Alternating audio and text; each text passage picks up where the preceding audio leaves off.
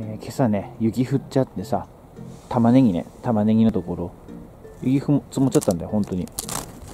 で、でもこれ、今年3回目なんだけどね、雪積もるのね。ね、こんだけ雪積もってもね、死なないんだよね、玉ねぎさんね。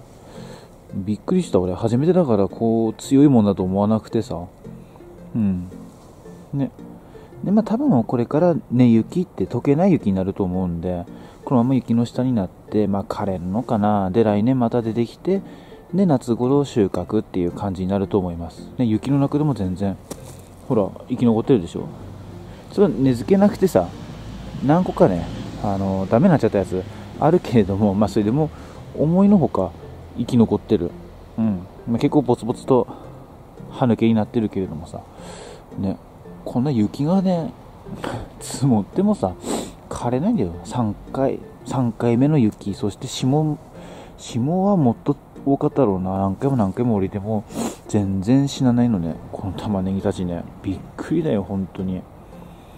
まあ、これが今年最後、今年っつか、まあ、こんなね、今年最後の玉ねぎの動画、まあ、ご報告になると思いますけれども、これが来年ね、本当に成長してくれるのかどうかね、全然俺、初めてだから分かんないけれども、まあ、ちょっと待ってもらえたらいいなと思います。本当にもう全然、一面雪景色っていうか、まあ、この程度ってね、降ったうちに入んないんだけどね。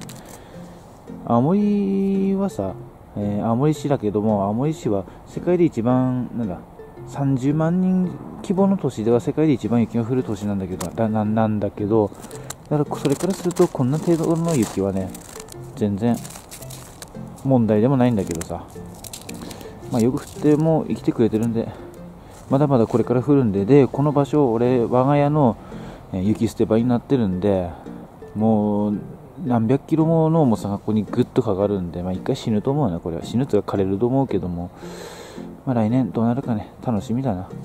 ちょこっと、ちょこっと、は葉っぱがやっぱり傷んでるな。まあ、仕方ね。